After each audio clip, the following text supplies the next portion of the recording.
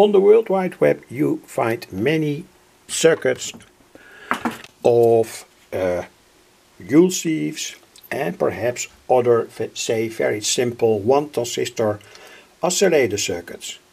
And I want to pay attention to uh, uh, that typical circuit with, made with one transistor and where in a certain way the waveform doesn't care. Of course the waveform uh, looking to the electronics theory is always important because uh, it also tells something about the energy content of an uh, say AC signal. But anyway I made for this video this drawing sloppy one transistor oscillators. And the aim of this video is in fact only to show to tell how you can make a simple oscillator with minimum components that works that's the most important thing. So we are not looking at a very proper waveform, say a sine wave or whatever, whatever, or whatever waveform. Anyway, pen over somewhat. And this is this is more or less the most basic circuit and it is very very uh, universal. I now made it with this coil here.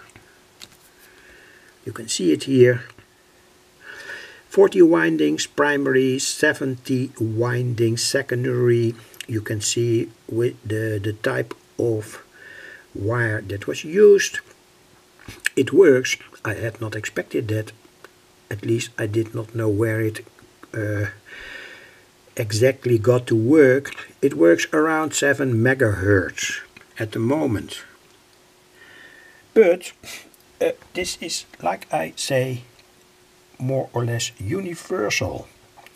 That's important. You can make all kinds of coils, uh, get them into oscillation. Even coils with not that are not made in this way, but have a primary and a secondary on, say, another type of core. Uh, that could be a ferrite core. Want to try to show that?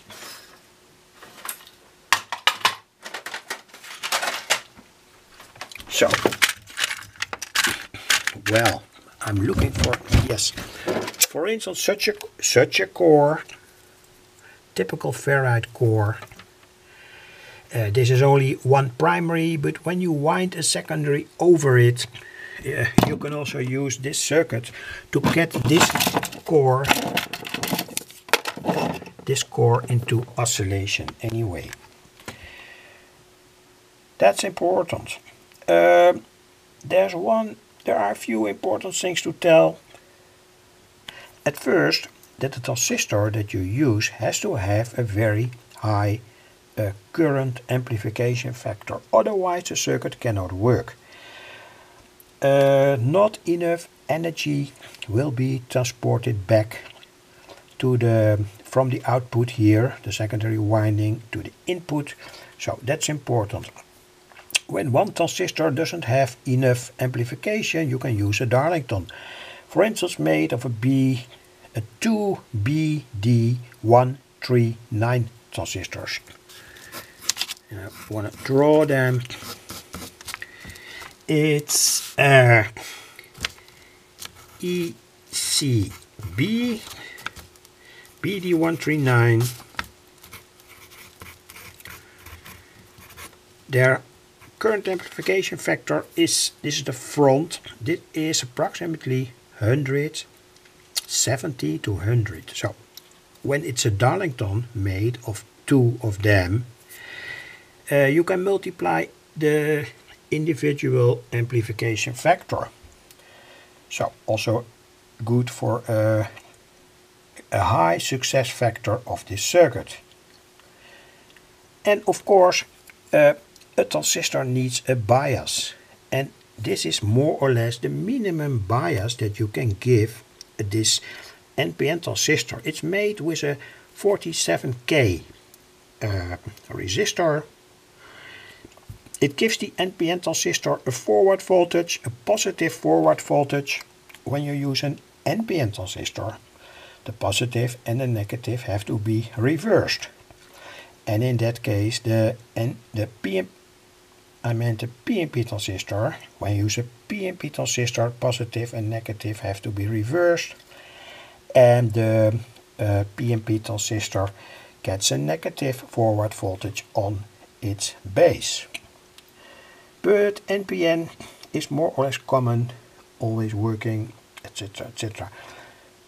This is a very important wire. It goes from the output of the transformer to the input. It couples the signal back via a capacitor of 47 nanofarad. It can also be 100 nanofarad for a first experiment. And like I told, uh, it's a sloppy circuit, but it more or less always works. Very important to tell that uh, when it doesn't want to oscillate, you must reverse the A and the B.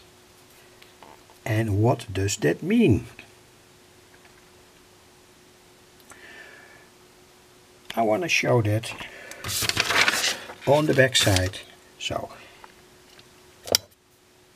this is, oh, too dark, what that means.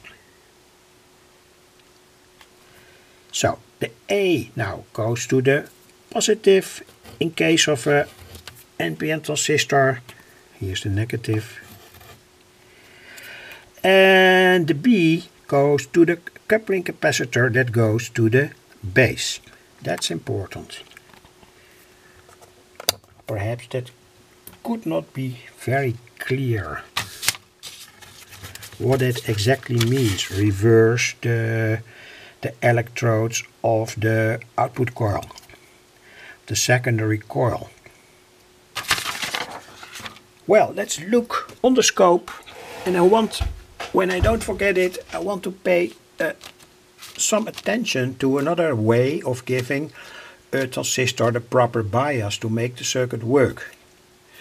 Because with no bias the circuit cannot work. Anyway, switch on the scope and switch on my power supply. And the good thing of this circuit is that it works on a very, very low voltage. That has everything to do with the simplicity. Uh, that also explains why these thief circuits on the World Wide Web and on YouTube can work on one battery of approximately 1.5 volts or 1.2 volts. Uh, it's say the the critical voltage where this circuit starts to work and that has everything to do with the properties of a silicon transistor. A silicon transistor needs more than approximately 0.7 volts to make it work. A germanium transistor, however, when you make this with a germanium transistor, it can work on a even somewhat lower voltage, say approximately 0.4 volts. Anyway, problem with uh, germanium transistors is in general that their current amplification is often, not always, uh, too low to make it work. Anyway, here is the circuit again sloppy oscillator. Here is the waveform and it works at the moment on say 6 megahertz. My camera starts to run out so I have to be very short. Uh, when we lift up the supply voltage the waveform gets very unpure. That's what I wanted to show. I have to stay short now because my camera flickers that uh, my time here the battery is almost depleted that's what I wanted to show waveform gets distorted on higher uh, voltages has everything everything to do with the fact that, that the circuit is sloppy but uh, biasing can also be done in another way. And that's this way. Here you use a potentiometer and with that potentiometer you can set the whole circuit to a somewhat more critical bias and sometimes that can help to get a better waveform. And also important to tell, you can use here a, re a resistor of say 27 ohms or 100 ohms to limit the maximum current that can flow so that your transistor uh, will not be damaged. When the circuit, for instance, suddenly stops oscillating, uh, the current will go up very, very substantially. In many cases, by the way. So, again, for more powerful applications, you can use here a transformer, an old transformer, say a transformer that works, uh, that makes 220 volts, that goes from 220 volts to 12 volt or 6 volts. Good idea is to use that with a Darlington, etc, etc. I hope it was a little bit clear. Uh, anyway, interesting always to look at the scope to see all these beautiful waveforms. By the way, on my YouTube channel, um, uh, Radio Fun 232, there are many, many circuits of radio oscillators that work very, very properly. And then especially uh, to make sine waves for radio applications, for instance in a super heterodyne radio. Uh, go to the looking glass on my channel trailer, type keywords like oscillator, generator, uh, super heterodyne, radio, shortwave, all these keywords can lead, will lead to oscillator circuits, sine wave oscillator circuits that are very good usable for radio applications. Thanks for watching.